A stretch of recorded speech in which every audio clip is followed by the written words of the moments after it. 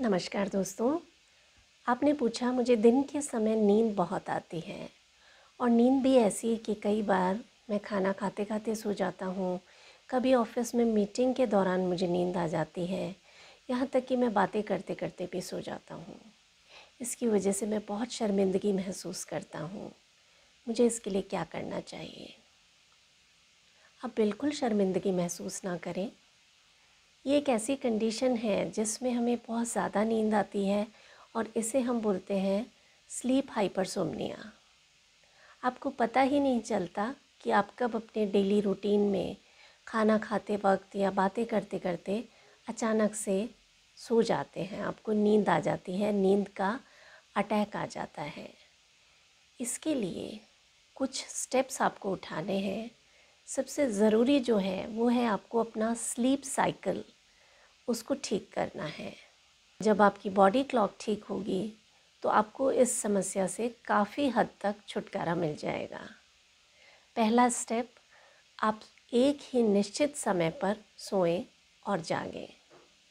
दूसरा, रात की नींद बहुत ही आरामदायक और भरपूर हो अनडिस्टर्ब्ड हो।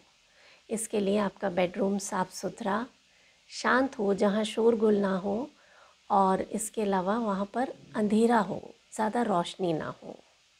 तीसरा, शाम को चार बजे के बाद चाय, कॉफ़ी जैसी चीज़ें जिनमें कैफ़ीन होता है, उनको यूज़ ना करें।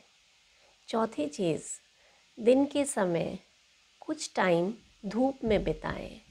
धूप में रहने से, रोशनी में रहने से आपका स्लीप साइकिल बहुत इम्प्रूव होता है।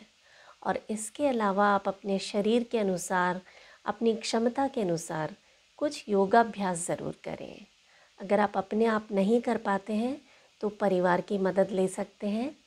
बहुत ज़्यादा अगर कुछ नहीं कर पाते हैं तो एटलीस्ट सूक्ष्म व्यायाम ज़रूर करें जॉइंट रोटेशन ज़रूर करें। और इसके साथ आप प्राणायाम करें।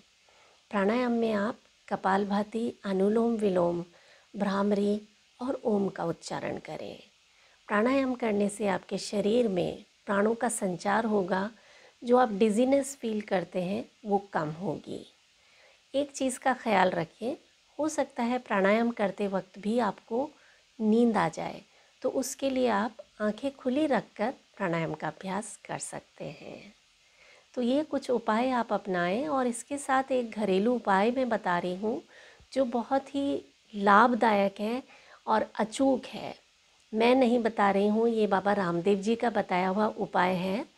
रात को सौंफ, कुछ गुलाब की पत्तियाँ और मुलैठी, इनको पानी में भिगो दें और सुबह इस पानी को छान कर, दिन भर इस पानी का प्रयोग करें। एक एक दो दो घूंट आप इस पानी को दिन भर पीते रहें। तो इससे स्लीप हाइपरसोमनिया में बहुत मदद मिलती है। एक चीज़ का ख्याल रखें कि परिवार का प्यार और सहयोग इस स्थिति से निपटने में बहुत ज़्यादा ज़रूरी है।